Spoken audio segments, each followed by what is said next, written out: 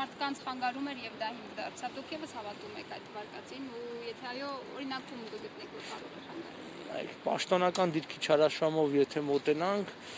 հաուրավոր պաշտոնյաներ կան, նախկին եւ ներկա, որ հաստատ շատ ավելի հիմքեր կա նման մեղադրանք առաջադրելու մենք ականատես ենք լինում, որ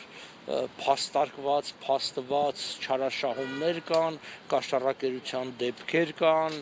օրինակ արտգործնախարարը իր այս վերջի զրույցի մեջ ասաց, որ Ստիվ Սակուրի հետ հարցազրույցի, որ ճամպրուկներով փողեր են տարվել։ Դե լավ, եթե ինքը դա ընդունում է որպես փաստ, ում են տարվել։ Ինչ այդ մարդը առ այսօր դատված ու դատապարտված չի։ Հետևաբար ուզում եմ ասեմ երբևէ Դավիթ Սանասարյանը մենք գիտենք նման գործակների մեջ չի եղել, իսկ այն կարճաժամկետ, երբ որ ինքը պետական վերահսկողության պետ էր, ամենայն հավանականությամբ ինչ որ մարդկանց խանգարել է, մենք կարող ենք ենթադրել, ենթադրում ենք,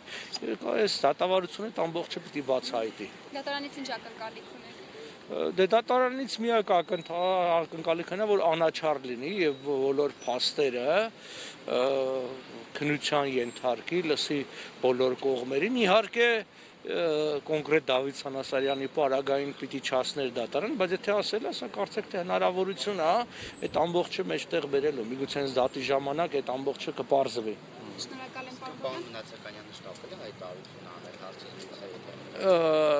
Ինչը ճամպրուկների մասով նկատի ունեք թե ունեցել էր եւ Դավիթն էլ անդրադարձել էր Չէ, այնտեղ պիտի հիշենք, որ անդրադարձը հարցազրույց վարողը սկիզբը ասաց, որ եթե ինչպես վարչապետն ասել, որ համակարգային կաշառակերություն չկա, կոռուպցիա չկա, ապա ձեր նշանակած պաշտ այդտեղից հարցը եկավ մեջտեղ, դե բնականա պիտի մնացականյան դրան անդրադառնար, բայց այստեղ իհարկե այդ այդ հայտարարությունը, որ կոռուպցիա չկա, ես պիտի ասեմ, որ այսինքն մերոնք շտապեցին նման բան ասել, ոչ թե Դավիթ Սանասարյանի պարագայով, այլ շատ-շատ ուրիշների, մենք ի վերջո գիտենք, որ դա կա կար եւ այսօր էլ կա, այո, համաձայն եմ այդ նախքին բրգաձևը չի, միգուցե մինչեւ ամենավերևներ չի ասնում, բայց ըստ էության հետո պիտի հասկանան, որ կոռուպցիան ավելի լայն հասկացություն է, դա միայն կաշառակերությունը չի։ Կոռուպցիան նաեւ պաշտոնական դիրքի չարաշահում է, օրինակ վերենք այստեղ օրինակներ էի ուզում։ Երբ որ կառավարությունը որոշում է կայացնում որը հակաօրինական է, հակասահմանադրական է հակաբարոյական է նախարարների աշխատավարձները բարձրացնելու, դա կոռուպցիոն դրսևորում է, բաց այդ կոռուպցիոն դրսևորում է, որտեղ օրենքը դա թույլ չի տալիս